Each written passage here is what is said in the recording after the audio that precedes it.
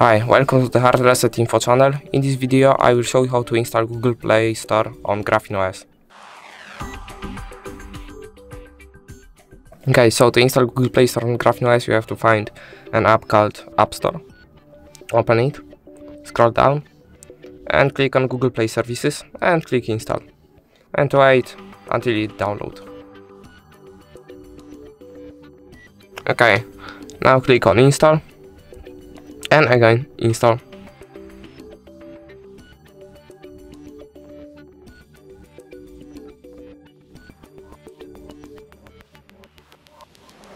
Okay, now Google Play Store is installed. You can open it and log into your Google account. Thanks.